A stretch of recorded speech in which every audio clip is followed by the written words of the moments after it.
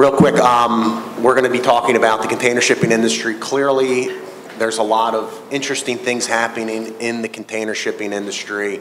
Um, we need to remember that you know, despite all the problems that are being faced in the container shipping industry, ships are still being moved, cargo is still flowing. Um, but to that point, um, and I guess I'll start off with uh, Howard from COSCO. Howard, I mean, clearly anybody that's in this room's probably read or at least heard about what's going on with Hanjin Shipping. And the and and and really, I guess my first question is, you know, could you talk a little bit about what you've what you're seeing in terms of impact for the uh, container shipping markets with the recent announcement by Hanjin that it was going into uh, restructuring? Sure. Um, It's it's almost hard to discuss this right now because I'm dealing with the trees, and it's hard to look at the forest because uh, not only is COSCO a competitor of Hanjin, uh, we are currently in an alliance with them, um, uh, CKYHE Alliance. So what's happening basically with us personally, and I'm involved with this, is we have Hanjin vessels coming in with COSCO containers that difficult for shippers to pick up. And of course, uh, Hanjin containers on COSCO vessels where uh, some ports are. Eh, we're kind of working this out, but at first, ports were. Um, uh, they didn't want to take the Hanjin boxes off of our vessels. Um, we've got most of that under control right now. Um, I think it's going to have a pretty huge effect on, on the market. Um, a couple of lines have already kind of stepped in, um, try to announce they're they're going to have some new services.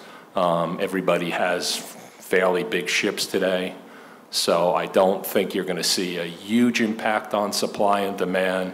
But I think what's going to happen is the uh, if you're a shipper, and uh, Hanjin had, it's around 8% market share of the Transpacific. Um, there's a lot of cargo on their vessels that's being frustrated.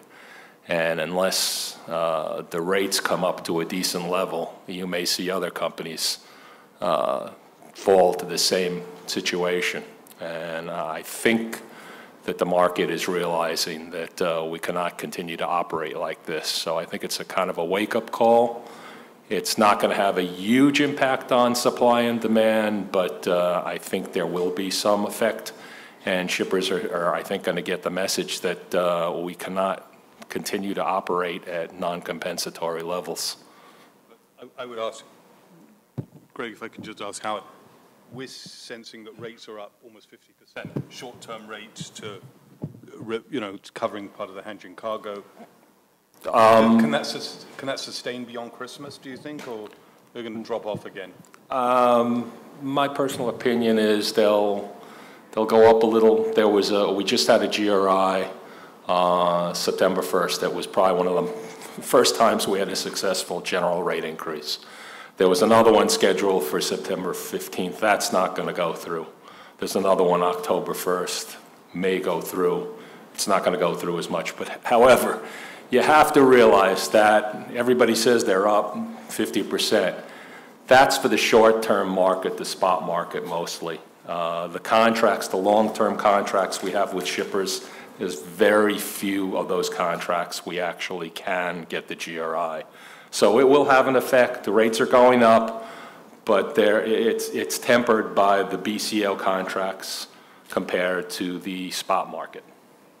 Okay, great. And just, I mean, you mentioned um, some of the other liner companies have already announced uh, new services to offset the Hanjin Um, lack of service.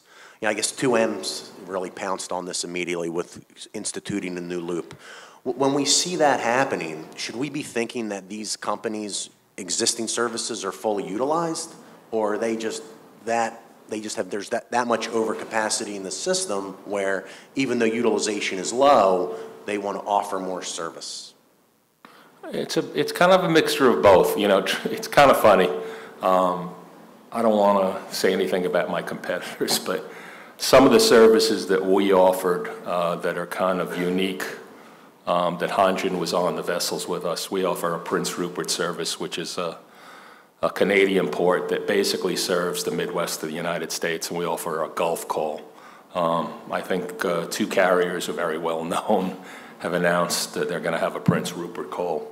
Um, that is a very popular uh, port right now. Uh, I think people, that's not a port where we're looking for cargo. There's, there's probably too much cargo. And what's going on in the Gulf right now is the uh, actually resin shipments are going to explode. So two areas where COSCO is involved, actually Hanjin kind of rode on our back. You know, we, we were ones who started the Prince Rupert service and started the Houston service. Um, those are the areas I think that uh, people are really going to take a look at and try to go into. Um, of course, COSCO, you know, being an alliance member, we didn't go out and announce right away, oh, we're going to put more vessels in. Uh, I think that would be not the right thing to do with, a, with an alliance partner, but of course we're looking at it. We're going to protect our, our markets in Prince Rupert and through the Gulf And then Peter or, or Tasos, just as, as, you know, as alliance, alliances have been changing more recently and, and there's been adjustments, have you noticed any changes in, in how you're dealing with your customers? Is, is there any opportunities that you're able to benefit from any of these shifting in alliances, or is it more just business as usual? So I, I think at Seaspan, we've, um, you know, we, we've got some, obviously, some very strong relationships. Um, I think, not surprisingly, like many, one was blindsided by Hanjin. Um, I think there was an expectation that KDB might step in, um, maybe run Hyundai and Hanjin together. I think a lot of press has been written. I think Alphaliners was uh, astute and uh, acerbic at the same time um, when they wrote about what could have happened or what perhaps should have happened, and perhaps Hanjin was badly handled. I think there's a great sense now as a liner company, as a, an operator, an owner-operator, um, to that we're in a wait and see mode. Um, there is, as, as, we all know, a lot of tonnage out there. Obviously, there's no new buildings being ordered now in the big sizes. Uh, so I, I, think we're seeing that in the customers we're talking to about our sort of ships that could potentially come off Hanjin, there's an interest, but everybody wants to sort of wait and see how it plays out. If demand holds, if even the spot rates increase, because the spot rate increases actually will turn a number of liner companies red lines into black lines by, by the end of the year. I mean, there's enough spot cargo that some of the, those who are unprofitable will be profitable. So to some extent, actually, our counterparty risk actually sort of is decreases, you know, in the short, certainly in the immediate term. But it's very much a wait and see and see how this plays out. I think there's probably an expectation that Hanjin doesn't come out of this and doesn't reorganize. I think the, my money would be on that. Uh, I, am a, feeder operator, so I can talk uh, uh, from that point of view. The um, realignment, I guess, and uh, re rearrangement of alliances, which will become even more uh, intensified uh, by the Hanjin developments, creates a relatively um, un, un, not unstable, but unclear environment for the, for the feeder operators. in the sense we don't really know who, who the final client is, because really feeder operators feed off the main services that um, uh, the big alliances uh, put in place. I mean, you have here recently news of CMA, for example, not doing outsourcing the feeder its feeder operations. So really, there is a, a moving landscape uh, at the moment, and we're also in sort of wait and see mode, trying to uh, determine who, who is really the client, how we can uh, sort of line up our own services uh, to the industry. I, I, think dislocation of any kind is probably good for the feeder market in, in the immediate term. That's probably, that's probably right. true, I guess. I mean, dislocation of any kind is good for the whole industry, especially yeah, if productivity like goes down, yeah. more ships are and, needed. And war. War is good too, right? I mean, it's hard, hard to say that, but... And, and, then just, uh, Peter, I mean, you, you, mentioned a couple of your vessels. Just as, as we think about the impact that the Hanjin, and, and don't worry, we're not going to spend this whole time talking about Hanjin, um, but as, as we think about those vessels that are on, on you know, with Hanjin right now. Is there any way to quantify the, the total size? I, I would think just since you're with them, you must have a sense for how many vessels we could actually see be put on the market. Uh, You know, as we think about. 63. And, and in terms of capacity, you know, be, Well, you know, I mean, it, it's sort of public how many ships Hanjin have, Sure. and I think if they, you know, if they don't reorganize successfully, and my money would be not on a reorganization, but ultimately on a liquidation, you will see effectively 95 ships, 31, something like that, maybe 93, whatever, 60 plus chartered and 30 plus owned, coming back on the market. And you know, if cargo's not growing, we're still, it's not fixing the supply problem. Um, Some of the better ships will be taken up by some of the, you know, other operators.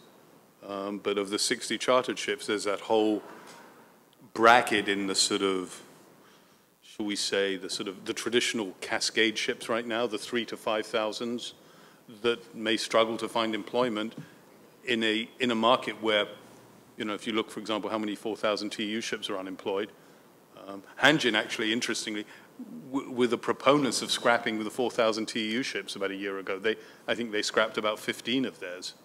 Um, and so I think we will see more scrapping of, of the mid-sized ships. The older ones, The older, well, not even, not so old, right? Define old, right? Um, yeah, 15 plus, whatever. yeah, 20 fif- plus. to 18. I mean, Yeah. you know, Yeah. we've certainly seen 97 scrap regularly. And COSCO has an extremely You- you- aggressive scrap. COSCO just scrapped uh, right. five 3500s. That's right. And they were 01 builds, I think, That's right? right. Mhm. They announced Yes. last week, yeah. Hanjin uh, operated 3%, I guess, of the, of the world fleet. So for the, for the short period in the immediate future, that, that fleet probably will not be employed. So that's a good news in terms of the overall supply demand. But as Peter said, at some point, not in the too distant future, those ships will return to the market, and it will not solve the supply problem uh, of the industry. the owners, we have to solve it, I guess. Well, we're not unlike dry bulk, right? I mean, if new building slows down um, and, and basically seems to stop, at least on the larger ships, that contracts supply on one side, and then if we can increase scrapping, which has happened, it, it's a little slower. Yeah, the only thing is that the scrapping containers are mostly on the feeder sector and not on the, Right. you know, non-feeder container. Right, and in the bigger So- ships, they're all much newer ships. I mean, the average Indeed, age of the yeah. sort of 8,000 TEU ships is probably no greater than five or Yeah. six years. Sure, abs- absolutely. So, you know, just shifting gears, um, just because it's a little bit topical, um, with, with the Panama Canal and, and I'd be curious, you know, how you're thinking about the market, just because, you know, when we think about the Panama Canal, there's talk of, you know, sort of hub and spoke type new services that could pop up. I- Is there anything that, that, that, that the feeder industry should or be, is thinking about doing to maybe take advantage of what is happening with the Panama Canal? That's part of the environment that makes the picture for the feeder operators less clear. The alliances and the bigger liners uh, are rearranging their services, trying to see how they can optimize their routes with the presence of the, uh, of the, of the new canal. At the same time, the old canal becomes more economical because rates, uh, crossing rates, I think, uh, uh, are coming down. So there is a whole re-optimization of the industry. That's why I mentioned earlier that we're trying to figure out where the dust uh, uh, will, will, will settle. Uh, I mean, a combination, I guess, of the, of the Hanjin and the canal and the, created some opportunities for us. I mean, we had one of the ships that were the doomed ones between the 4,000 and the 8,000 ones, but, you know, uh, the, the fact that certain Hanjin ships were out of the market uh, gave us some chartering opportunities for one of our ships that was in that range. So we are, again, figuring out, uh, it's, a, it's, it's, it's a period of, I would, of redefinition, I guess, of the trade lanes uh, in the container, container ship sector. Yeah, I'd just like to add, because we're a big player in the Panama Canal. We actually had the, the first vessel go through there. Um, It kind of comes at a good time also, because as everybody knows, we're going through an integration with China Shipping and COSCO. Um, And my part of the world, uh, strangely enough, COSCO as big as we are, um, we don't have a north-south service. and a lot of opportunities. Uh, The Panama Canal, everybody, you know, thinks at first, oh, it's gonna, it's gonna change, it's gonna be a real game changer. There's gonna be a lot of cargo that's coming through the west coast, it's gonna go through the canal. I don't think the, uh, the major BCOs, with the delays that have happened, and truthfully, you can't have a major service uh, the Panama Canal without New York being ready, and we all know the Bayonne Bridge is not ready. Um, But as I said, I think COSCO is now, we have a lot of ships. We have China shipping services, there's some redundancy. We're going to be looking into new areas, we're going to be looking at the north-south.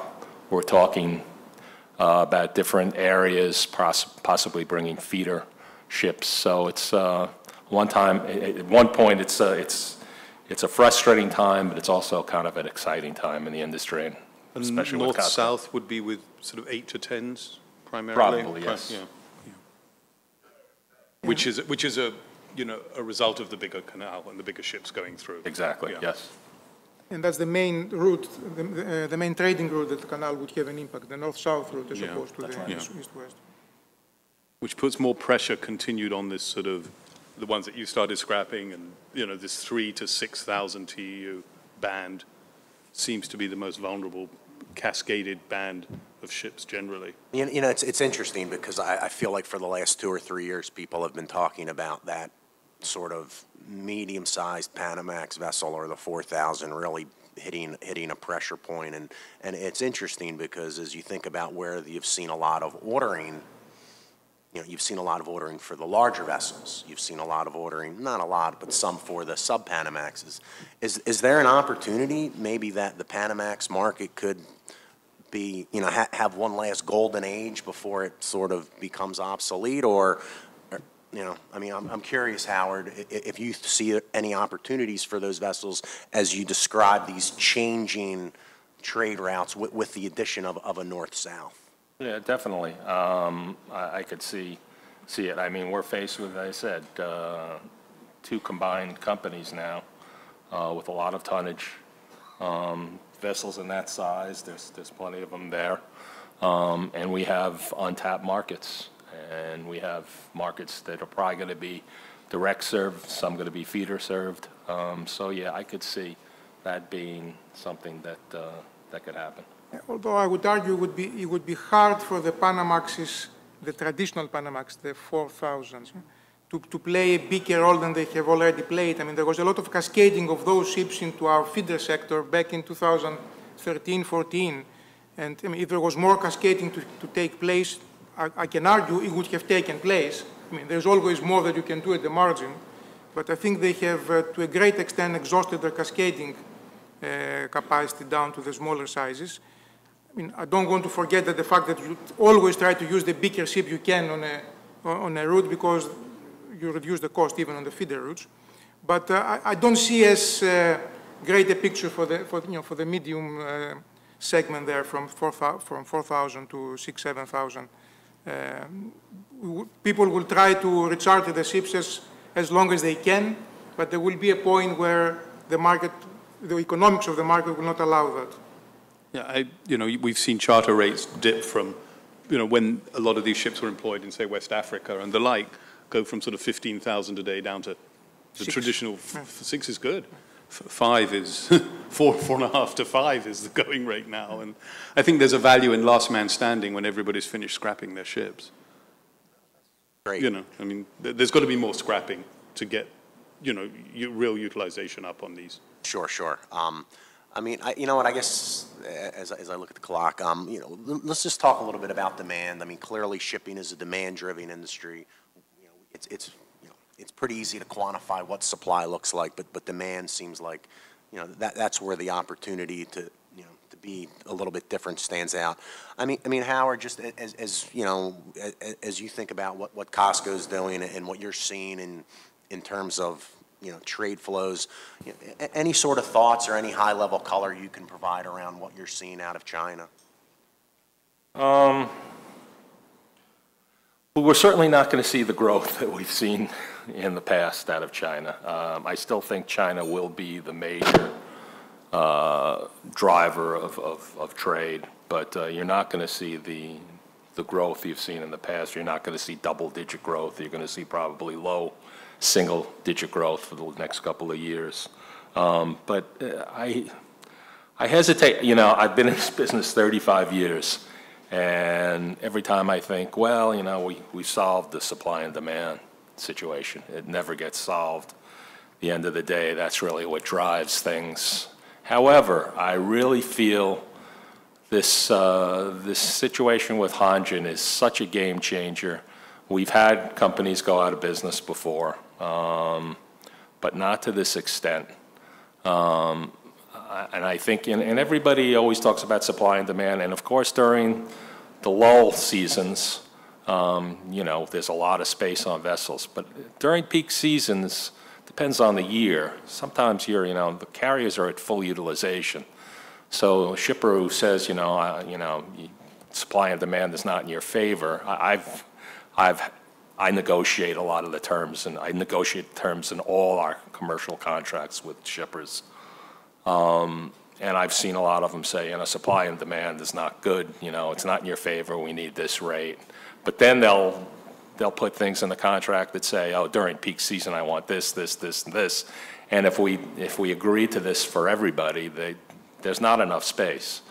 So during peak season, that uh, supply is pretty much used up, and you have to realize that. And I think right now, um, supply and demand, I don't see going in our favor, but I think the- just the realities of the market and what's happened will change things a little bit. It's not going to be overnight.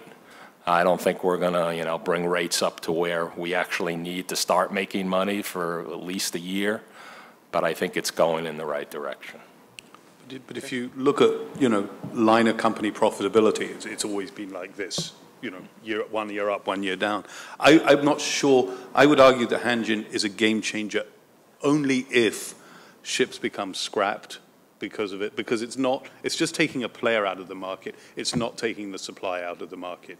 And until that happens, it, it, it can also serve as a wake-up call um, that rates have to come up to allow lines to sustain themselves, and it's a wake-up call to make sure there's no new ordering for this current cycle. If all those pieces fall into place, sounds like a dry bulk panel, um, you know, that, you know, then we're okay. But, but otherwise, we're on the traditional, and it's the traditional two-year runway. And and I would agree in the long term, you're probably right. But you got to remember, the last time the, the carriers actually got any kind of meaningful money was after the financial crisis, and we had problems in the West Coast ports, and there was a real uh, halt to, to trade, and people woke up, and, and that year, the carriers got basically a thousand dollar increase. It didn't last that long, but it kind of brought the. But it's what we were saying before, it takes that or a war or something. That's right. Dramatic, you know, dislocation to get the rates up. Correct, yeah. But you reverted back talking about supply. I think uh, if you talk, if you look at where demand could come from, I mean, there are in, in, in container ship uh, trade, there are three general areas. One where demand traditionally comes from Europe, which is the longest, far, uh, the farthest away from Asia and provides the biggest demand in terms of ton miles, north-south trades, and intra-Asia. And Europe, Europe's demand has been mediocre, to put it mildly, over the last uh, period. And really, one has to look at the prospects of the, of the Eurozone economies uh, recovering and putting their, their affairs in order. The North-South trades were affected by the low commodity prices because the countries that involved in creating demand have been affected by the low commodity prices. So there we had some weakness, and perhaps we need to wait to see commodity price increasing for the economies of these countries to improve for demand for, uh, for containerized uh, trade to materialize. And finally, in Asia, which it has been below the uh, past rates of growth, but still pretty decent. I think is providing 3 to 4 percent growth even in the lackluster environment that we're in. So in terms of key areas to look, I would look at, at Europe to see when the Europe will put its affairs in order and sort of convert some more stability in development to uh, finish demand for consumer goods and uh, how the, the emerging economies uh, will develop economically to see demand in the north-south trades. And, and that's a, and that's a good point, Tasos. And, and as we, as we think about demand, I mean, surprisingly, you know, I think Shanghai and Hong Kong, uh, Singapore came out with port data for, for August, you know, volumes were flatter up, year-to-date volumes are flatter up. You know, the demand has actually been, you know, okay. Um, Is really what we need to balance this market, is it just more pain in this market so we see more scrapping? I mean, I don't get the sense from listening to any of you that we're going to see really, uh, you know, a pickup in demand really, really pull us out of the current down cycle we're, we're in container shipping. Is this just going to be sort of a war of attrition where the market's just out of balance until we come to a point where we need to see more vessels retired. I mean, Peter, you mentioned Hanjin, you know, these 60 vessels that are now, you know, what happens to these 60 vessels? Is it just, should, should we be thinking about, or at least how are, how, I guess, how are the panelists positioning their fleets or, or their strategies over the next six to 12 months? Um, is it just, you know, execute, generate a lot of cash flow, generate as much cash as you can and hunker down for a recovery? I think that's, that's basically it. I think the, but I wouldn't um, blame supply too much, although the order book has been, uh, it's high even uh, today with uh, the current market standards. But for 2016, the consensus, let's say, is that we expect a fleet growth of two, and a, two to three percent, to put it on a, in a range format. Demand traditionally has been way above that, although lately was very mediocre. Uh, I've seen forecasts of demand between 2 and 4 percent for, for, for 2016. So we are right around balance at a very low point, I guess, on the supply-demand uh, uh, curve. But we are right uh, uh, around balance, and if demand returns to the 4 percent, which is below the, way below the historical average, uh, still we would see the first step towards a better equilibrium. I think for next year, uh, supply demand, supply is expected to grow by about, again, 2 per, 2% if I'm not mistaken, 2 to, Two 2 to 3%. yeah. So if demand continues with 3, 4%, we'll see another year um, of improvement. So we are right there, simply, you know, both sides of the equation have to work in, in sync.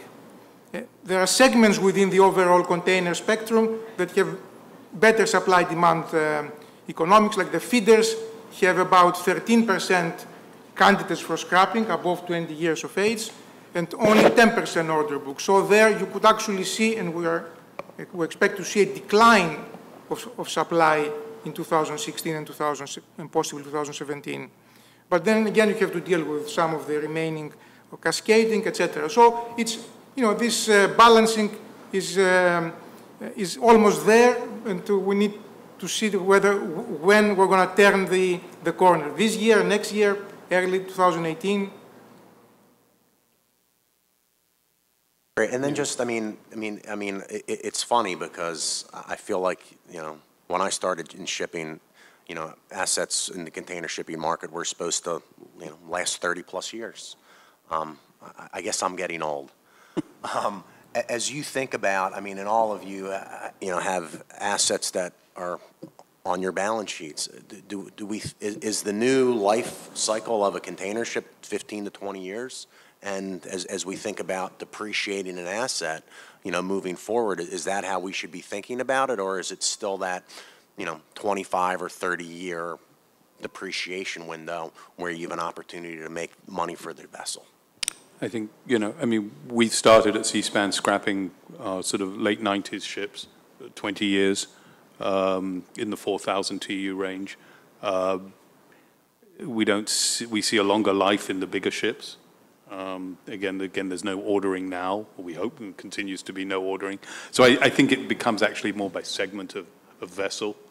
Um, but certainly in that sort of, you know, in this cascaded bracket, we've seen ships as young as 15 years be scrapped. So 20 years is probably, you know, if you're running calculations on any ship between, what, yours were 01 you scrapped? Uh, Yeah. Yeah.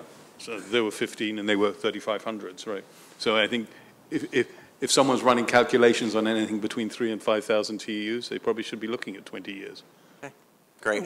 Yeah, we're at an abnormal point in the market. I've got a very low rate for very long. Yeah. So this is re- really an economic decision, not a technical one. Ships can last easily 30 years if, if they earn money.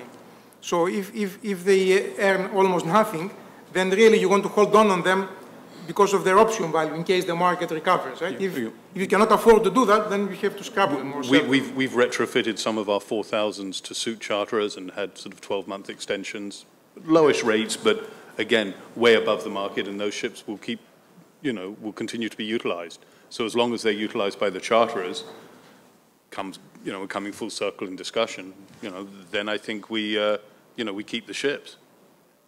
And then if I can interject another comment, there is also the old generations versus new generations. Right? The, the, the more modern ships are more fuel efficient, and people are very sensitive to, to paying for fuel costs these days. So there is this big divide in a sense, you know, ships built in the 90s or even early 2000s are not as fuel efficient, that are out of favor. So it's harder to keep them around for their option value. And, and better intake and better design and stability of as well. this, yeah. Right, yeah, yeah. Yeah, we're, we're under five minutes now. Are there, is there any questions from the audience? We have a question. Lambros Papaikonomou from Lloyd's List.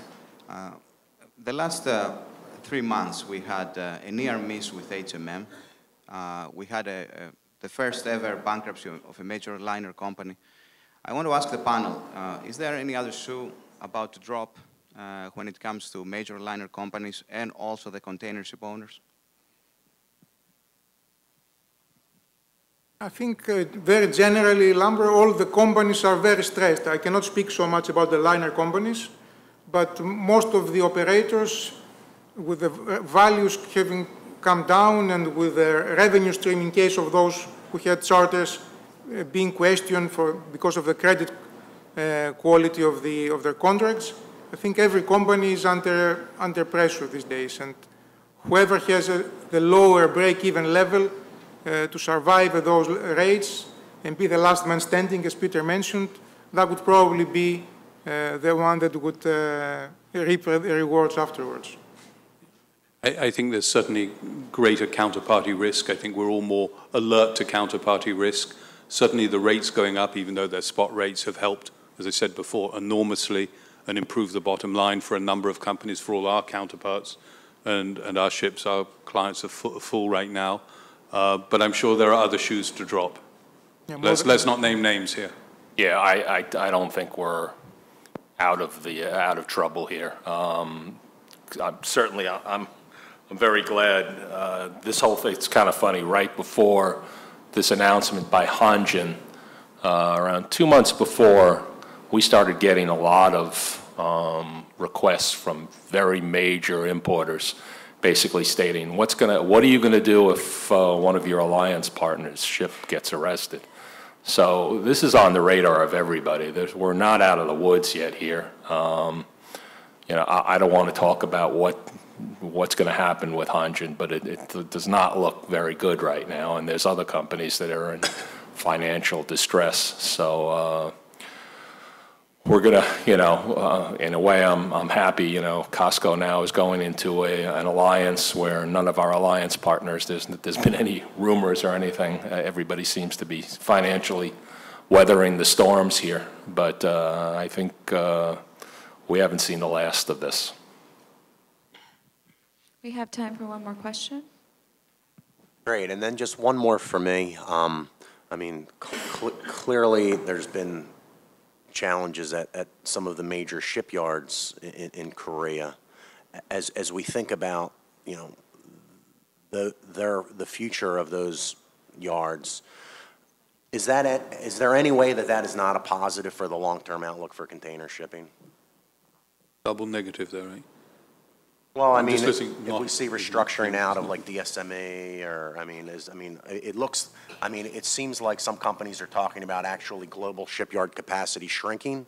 Do you share that view or, or, or do we think that, you know, these yards may restructure and change their names, but that capacity will remain in place?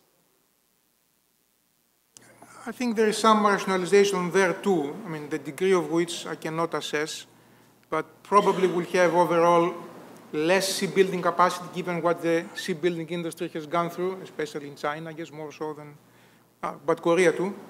But um, shipbuilding capacity was always there when shipping needed it. So it's really, I think only lately China has been trying to promote uh, its, its capacity, but uh, historically, if you look back to the 80s, um, shipbuilding was always available, shipbuilding capacity was always available if ship owners wanted to build ships.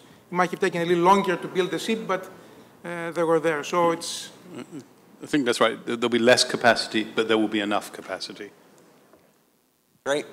Thank you very much. Thank you. thank you, thanks. Thanks, Howard. Good to see you again.